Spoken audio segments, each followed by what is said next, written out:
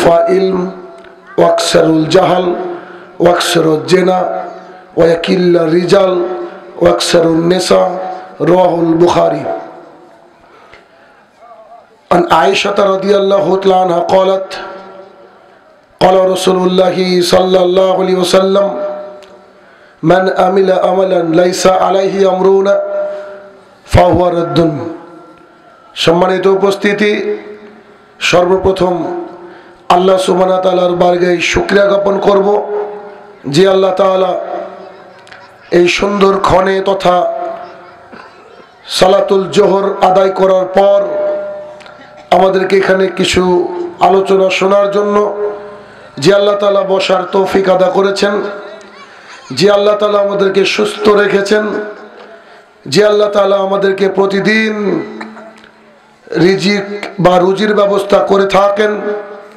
শেরাব্বাল ইজ্জাতের বারগাহে শুক্রিয়া জ্ঞাপনার্থে আমরা বলি আলহামদুলিল্লাহ। অতপর সমগ্র মানব জাতির শিক্ষক, সমগ্র মানব জাতির পথ প্রদর্শক মোহাম্মদুর রসুল্লাহ সাল্লাহ সাল্লামের ওপর শতকোটি সালাত ও সালাম বর্ষিত হোক, আমরা বলি আল্লাহ আমিন। আজ মলাজানি মধ্যপাড়া ইছাখালী বাজার, মুক্তাগাছা, মোমেন শাহী।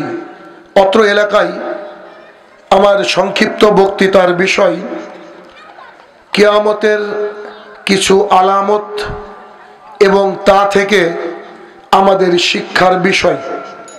উক্ত বিষয়ে তথ্য এবং তত্ত্ববহল আলোচনা করার চেষ্টা করব ইনশাল্লাহ আজিজ। আমি আশাবাদী আজকের আলোচনা থেকে যতজন মানুষ এখানে আমরা উপস্থিত হব, যতজন মানুষ সোশ্যাল মিডিয়ার মাধ্যমে সরাসরি শুনব, যতজন মানুষ পরবর্তী সময় দেখার সৌভাগ্য হবে, তারা আমরা এই আলোচনা থেকে উপকার পাব বলে আমি আন্তরিকভাবে আশাবাদী। আল্লাহ তালা যেন আমাদেরকে তার কোরআন এবং সুন্না অনুযায়ী কথা বলে তদ অনুযায়ী আমল করার তৌফিক আদা করে। আমরা বলি আল্লাহ আমিন। আলোচনার বিষয় বলেছি, কেয়ামতের আলামত। এ বিষয়ে আমার বহু বক্তৃতা রয়েছে। ধারাবাহিকভাবে জুমার খুদ্া আছে ইন্টারনেটে, তবে আজকের আলোচনাটা একটু ভিন্ন হবে বলে আমি আশাবাদী। আমি চাই যে আপনারা এখান থেকে একটা ভালো কিছু নিয়ে যান, জীবনটাকে সুন্দরভাবে জান্নাতের রাস্তায় নিয়ে যাওয়ার চেষ্টা করেন। কেননা মাহফিল তো সাধারণত রাত্রিবেলায় হয়। কিন্তু আপনাদের আয়োজন দিনের বেলা, আলহামদুলিল্লাহ এটা কিন্তু খুব ভালো একটা বিষয় যে রাত্রিবেলায় কাউকে ডিস্টার্ব না করে ইশার পরে ঘুমিয়ে গিয়ে আবার ফজরের সলাত আদায় করা আমাদের কোনো ঝামেলা থাকবে না। এরকম করে সমস্ত মাহফিলগুলো যদি হতো তাহলে আমাদের সমাজকে তো আরও বেশি উপকার পেত। কেন? যে লাইটের খরচটা হয় এই খরচটা কিন্তু আপনারা বেঁচে গিয়েছেন। তারপরে রাত্রিবেলায় মানুষকে যে কষ্ট দেওয়া হয়, বা ফজরের সলাতে উঠতে যাদের অসুবিধা হয়, এই সারা রাত্রি প্রোগ্রাম করে অনেক ক্ষতির দিকে মানুষ চলে যায়। কিন্তু এইরকমভাবে সবাই যদি দিনে আয়োজন করত, তাহলে আমাদের উপকার হতো। যদিচ এক শ্রেণি মানুষ মনে করে যে দিনে আমরা তো কাজকর্মের মানুষ, দিনে কাজ করব রাত্রেবেলা একটু ফ্রি থাকি। আসলে কথাটা ভুল। কারণ আপনি যদি এখন মারা যান, তাহলে আমার মাহফিল বন্ধ করে আপনার জানাজার জন্য আমাকে রেডি হতে হবে। তাহলে দিন শিখার জন্য উপযুক্ত সময় এইটা। কিন্তু আমরা এটাকে মূল্যায়ন করি না। একটা দিন বছরে মাহফিল হয় বা দুটো দিন বা পাঁচটা দিন। তাতে এই পাঁচটা দিন কাজ না করলে কি সংসার চলে না? বরকতের মালিক তো আল্লাহ তালা তাই না? আপনার দাদার এগারোটা বারোটা সন্তান ছিল। তার বাড়িতে এমনি তো বারো জন খেতই, আবার বাইরের আরও বারো জন আসতো। চব্বিশ জন মানুষ প্রতিদিন খেত। আপনার দাদা কখনো বলেনি, আরে কি করে সংসার চালাবো? কারণ আল্লাহ চালিয়ে দিয়েছে। আর আমাদের এখন পরিবারে তিনজন, একজন মেহমান আসলে আমাদের বোঝা হয়ে যায়। যে কি করে খেতে দেব? আসলে আল্লাহ তালা আমাদের উপর থেকে বরকত তুলে নিয়েছেন। আর আমাদের বাপ দাদা বা আরও আগের যারা, তাদেরকে আল্লাহ বরকত ঢেলে দিত। কেন? তাদের আমল, আখলাখ, চরিত্র ছিল খুব সুন্দর। তাদেরকে দেখলে মনে তো জান্নাতি মানুষ। বা আমাদেরকে দেখলে ইহুদি, খ্রিস্টান মনে হয়। ঠিক না? যাই হোক, কেয়ামতের আলামত। কেয়ামত কি জিনিস? এটা হচ্ছে আমাদের ফল প্রকাশের দিন রেজাল্ট আউট হওয়ার দিন, পৃথিবীর যত ছাত্র ছাত্রী পরীক্ষা দেয়, যতই ভালো পরীক্ষা দিক না কেন, সে যখন শুনছে যে আগামী আঠাশে ডিসেম্বর আমার পরীক্ষার রেজাল্ট বের হবে, সে যতই ভালো পরীক্ষা দিক না কেন, তার মনের মধ্যে একটা টেনশন থাকে যে কি যে ঘটবে আজকে। এটা বলা খুব মুশকিল, থাকে না? কি, থাকে না? অবশ্যই থাকে। তো ওই কেয়ামতের মাঠ, যে কেয়ামতের মাঠ সম্পর্কে মোহাম্মদ সাল্লাম অনেক কথা বলেছেন।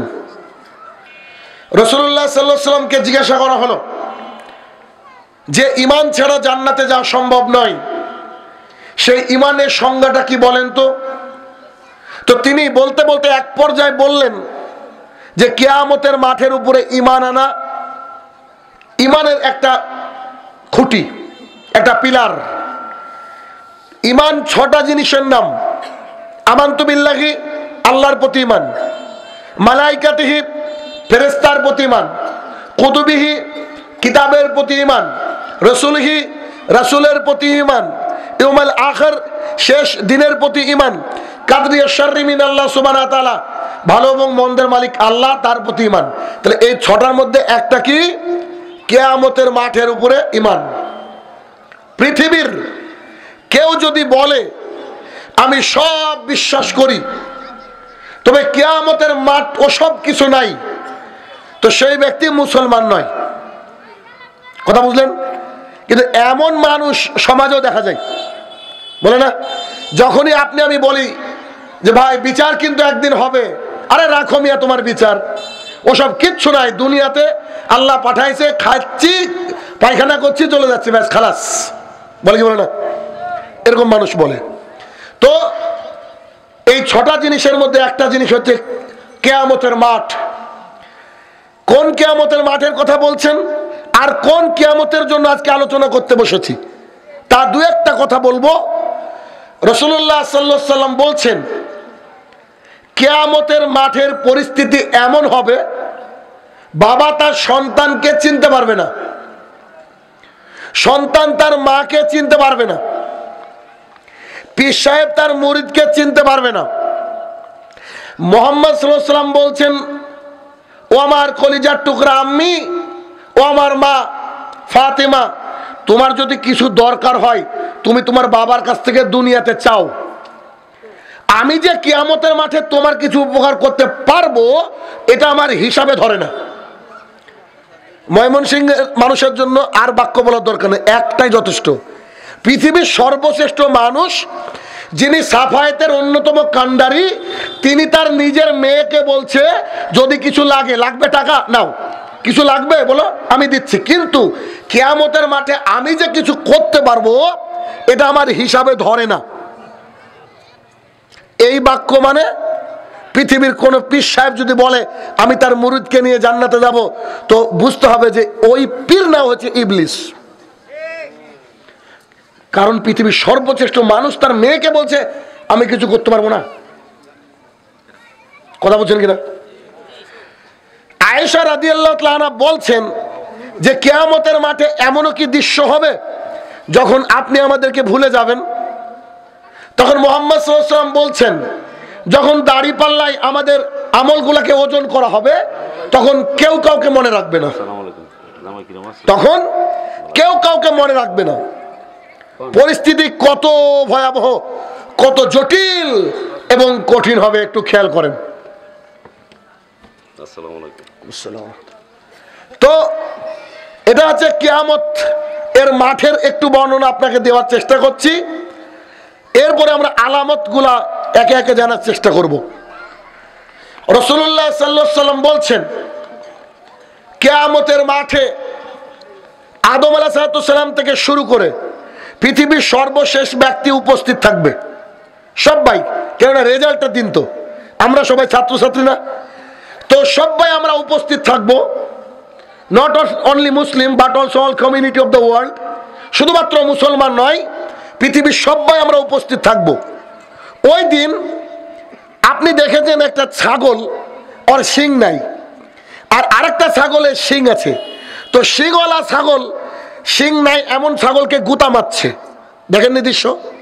এ তো অন্যায় করেছে, ওর ক্ষমতা দিয়েছে আল্লাহ, কিন্তু ক্ষমতার অপব্যবহার করেছে। তো কেয়ামতের মাঠে আল্লাহ তালা বলবেন দুটো ছাগল হাজির করো। যে ছাগল গুতো মেরেছিল ওই শিং দেয় ছাগলকে, আল্লাহ তালা যার শিং ছিল না দুনিয়ায় তাকে শিং দিবেন। দেওয়ার পরে বলবে যে, এবার তুমি ওকে গুতো মারো। কেন? পৃথিবীতে তোমার উপরে অত্যাচার করেছে। এখন তুমি শোধটা মিটিয়ে নাও। কারণ, হিসাবটা মিটিয়ে নাও। কারণ, মানুষ আর জিনের জন্য জান্নাত জাহান্নাম বাদ বাকি এমনি হিসাব। তখন সিংবিহীন ছাগলটা যে দুনিয়াতে ছিল, আল্লাহ তালার নির্দেশে সিং পেয়ে ওই ছাগলকে গুতা দিবে। এই শব্দের অর্থ হচ্ছে এটা যে কেয়ামতের মাঠে পুঙ্খানুপুঙ্খু হিসাব করা হবে। একটু এদিক ওদিক টালবাহানা করা যাবে। ওটা হচ্ছে কেয়ামতের মাঠ। আবু সাইদ খুদরি রাজি আল্লাহ বলেন রসুল্লাহ সাল্লাহ সাল্লাম বলেছেন, কেয়ামতের মাঠে আল্লাহ সুবানা তাআলা আদম আলাইসালামকে ডাক দিয়ে বলবে, আদম! জি, আল্লাহ বলেন, এই যে উপস্থিত, আপনি একটু খেয়াল করে দেখেন, এখানে আপনারা যারা উপস্থিত রয়েছেন, আমি যদি চুপ করি, তো দেখেন বাইরে সাউন্ড পাবেন, দেখেন। পাচ্ছেন? কিন্তু কেয়ামতের মাঠে মিলিয়ন ট্রিলিয়ন মানুষ থাকবে হিসাবের বাইরে, সবাই চুপ থাকবে, মাইকের দরকার হবে না। কখন যে কোন দিক থেকে কোন ঘোষণা আসে, সবাই কানটা খাড়া করে ওই দিকে দাঁড়িয়ে থাকবে। আল্লাহ তাআলা কাকে ডাকলেন? যাকে নিজে হাতে তৈরি করেছেন। আদম আলাহাতামকে ডেকে বললেন, তুমি কোথায়? এ দেখেন আমি এইখানে। তুমি তোমার সন্তানদের মধ্য থেকে জাহান্নামীকে আলাদা করে দাও। কত বড় ঘোষণা। আদম আলাহাতামের সন্তান মানে শাহিনুর রহমান, আব্দুর রহমান, ডক্টর জাকির নায়েক। আল্লামা হোসেন সাইদি, আপনার দেশের প্রধানমন্ত্রী, গোটা পৃথিবীর সবাই চণ্ডীদাস সবাই বুঝেননি? সবাই আমরা আদমের সন্তান।